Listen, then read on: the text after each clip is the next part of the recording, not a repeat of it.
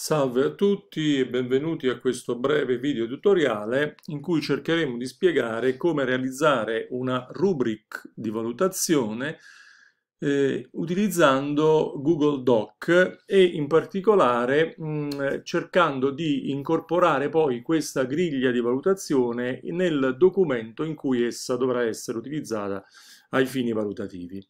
Punto di partenza, o meglio la precondizione, è mh, aver accesso a Google Doc e soprattutto aver installato all'interno del, della suite di Google Doc un componente aggiuntivo, vediamo qui, ecco, componenti aggiuntivi, che si chiama Orange Slice, che si eh, è distribuito in due, in due versioni. Una è la Teacher Rubric, che consente al docente di impostare una rubric e di effettuare le valutazioni, un'altra invece che è la student rubric, che serve semplicemente ad una mh, revisione, ad una autovalutazione che lo studente può fare utilizzando appunto la rubric di un proprio elaborato oppure ad una eh, valutazione tra pari, peer-to-peer -peer evaluation.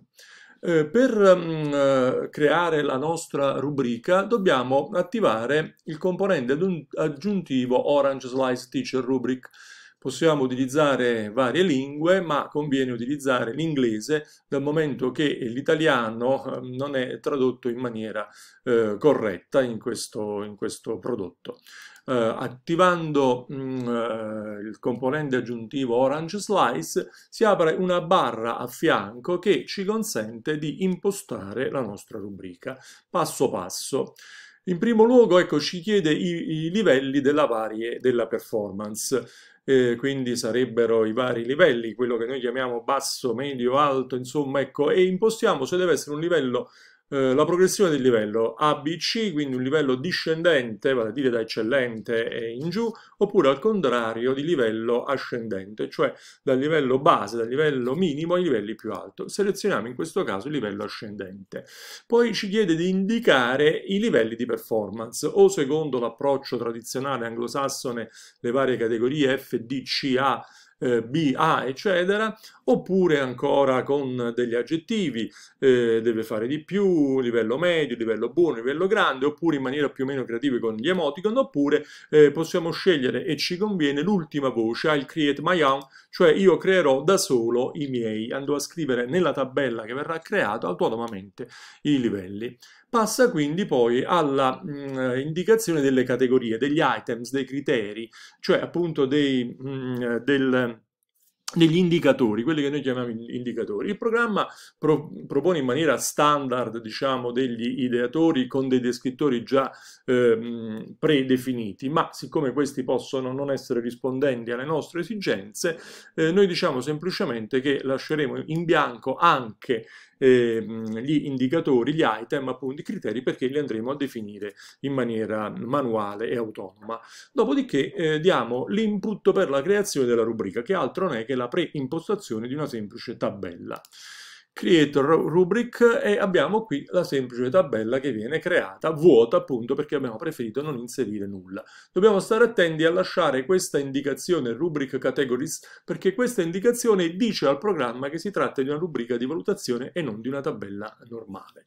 Andiamo quindi a indicare qui eh, sia le, eh, i criteri, gli item appunto, che i livelli che i descrittori. Quindi innanzitutto per quanto riguarda, supponendo di voler creare una rubrica che riguarda la comprensione di un testo, noi potremo utilizzare come mh, mm, categorie item eh, i seguenti item. Ecco, comprensione dell'argomento. Dovremo inserire quindi una nuova riga inserisci una riga sotto e andremo a utilizzare come secondo item le indicazioni principali e secondarie, cioè vogliamo valutare la capacità di uno studente di eh, individuare le informazioni principali e anche a completamento le informazioni secondarie. Come terzo item possiamo in maniera molto semplice indicare la competenza lessicale e come quarto item Quarta riga, inserisci una riga sotto, gli elementi retorici e linguistici del testo. Questi sono i classici quattro parametri utilizzati in maniera mh, più o meno varia per valutare la capacità di uno studente di comprendere un, un testo. Per quanto riguarda i livelli possiamo definire tre livelli, di norma i livelli oscillano sempre tra i 3 e i 5. Partecipando, cominciando da quello più basso possiamo stabilire il livello principiante, quindi principiante, principia, principiante, possiamo anche eliminare le ultime due colonne in quanto appunto non ci interessano volendo eh, indicare soltanto, servirci soltanto di tre eh, livelli. Quindi lasciamo a tre le colonne e dimensioniamole in modo da poter avere una lettura insomma più agevole del tutto. Il secondo livello è quello intermedio e il terzo livello è quello eccellente. Naturalmente ehm, dobbiamo adesso andare ad indicare i descrittori. Allora, un, per la comprensione dell'argomento avremo un livello da principiante quando l'alunno comprende semplicemente l'argomento e null'altro. Possiamo definire invece come livello intermedio un livello in cui l'alunno comprende eh, l'argomento del testo e il significato nelle sue linee generali il terzo livello, più alto, quello in cui l'alunno comprende anche i particolari, non solo il significato generale, ma anche i particolari. Per quanto riguarda le informazioni, possiamo inserire la dicitura che lo studente individua poche informazioni principali ma non quelle accessorie o secondarie. Come livello intermedio possiamo inserire la descrizione secondo la quale il ragazzo sa individuare informazioni principali e alcune informazioni secondarie e come livello alto di eccellenza diamo come descrittore la dicitura l'alunno sa cogliere perfettamente informazioni principali e tutte le secondarie stabilire relazioni tra di esse. Per quanto riguarda il livello, il terzo criterio, il lessico, possiamo dire che a livello principiante l'alunno non ha nessuna competenza lessicale o meglio ancora poche compete, poche, poca competenza lessicale, quindi conosce pochi vocaboli. Eh, diciamo che a livello intermedio l'alunno ha, eh, riconosce i significati base dei vocaboli più rilevanti, il significato traslato solo di alcuni vocaboli essenziali, mentre a livello alto indicheremo che l'alunno individua i significati di base e, di tra e traslati della maggior parte o di tutti i vocaboli.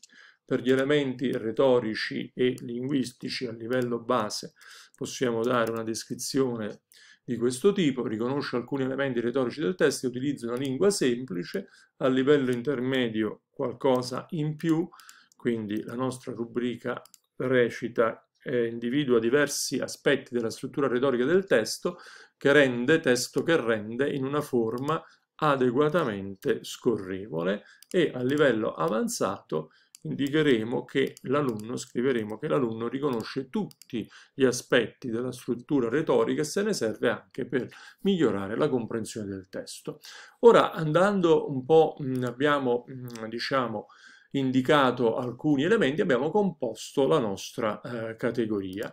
Dobbiamo anche, possiamo anche, per quanto riguarda la nostra, ehm, la, la, insomma, la valutazione, dobbiamo adesso andare alla parte relativa al punteggio, dobbiamo andare a dare peso, eh, valori, insomma, alle varie eh, categorie e ai vari livelli. Innanzitutto stabiliamo, eh, diciamo che la rubrica è ovviamente una rubrica di tipo analitico perché va a, a valutare le singole eh, componenti eh, della competenza di, di comprensione del, del, testo e possiamo dare un punteggio globale globale complessivo diciamo di 20 punti, di 30 punti o di 100 punti, ecco diciamo di 30 punti. E vediamo poi anche andando avanti eh, le performance per quanto riguarda i punteggi. Ecco noi qui dobbiamo dare un valore a principiante, intermedio ed eccellente che vada da 0 a 7,50 punti. Uno di questi tre valori, il valore eccellente, deve essere ovviamente 7.50. 7.50, a questi qui possiamo dare altri valori, un valore di 3 e un valore di 5. Ehm, possiamo anche dare un peso alle categorie. Cioè alle voci comprensione dell'argomento, informazioni principali, lessico, elementi retorici. In tal caso avremo una rubrica pesata, una media ponderata. E eh, diciamo che ehm, nel caso in cui ci interessa soprattutto la capacità dell'alunno di cogliere il significato generale, diremo che la metà ecco, dell'importanza, insomma, per il 50% è relativa alla comprensione dell'argomento. Poi potremo avere per l'altro 50% un 20% dato alla capacità di cogliere informazioni principali e secondarie, un altro 20% al lessico e un 10% agli elementi retorici e linguistici.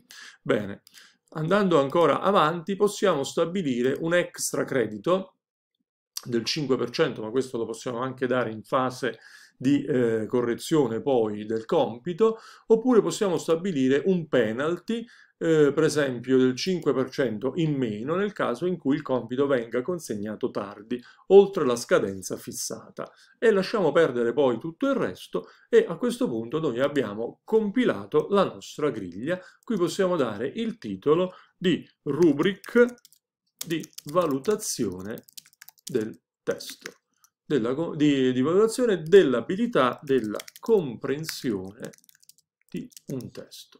E se vogliamo agire dal piano diciamo, estetico, impostiamo lo stile titolo, rubric di valutazione, comprensione, dare una estetica diciamo, al documento, ecco, sottotitolo, rubric di comprensione del testo e salviamo il nostro documento in modo da poterlo ritrovare con il titolo Comprensione del testo